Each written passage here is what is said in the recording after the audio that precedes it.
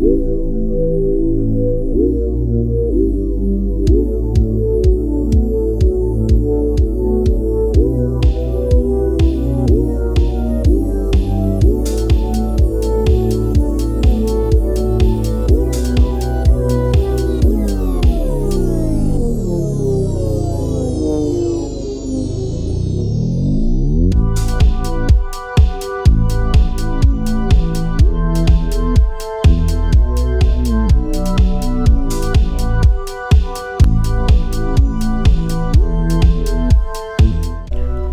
Journey began with an exploration into the daily lives of dyslexic children, and we quickly learned about their struggles within music. The fine and monotone nature of sheet music makes it very difficult to learn, and this presented us with an opportunity to redefine creating music with simple tactile blocks.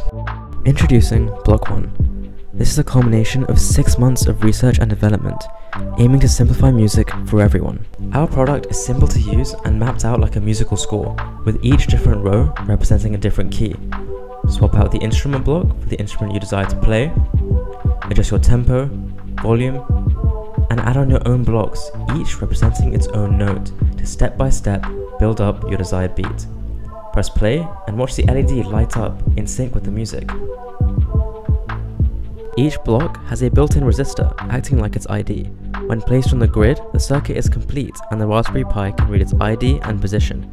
This is all done within a tight assembly, housing over 160 bolts, 80 resistors and LEDs, as well as 6 multiplexers.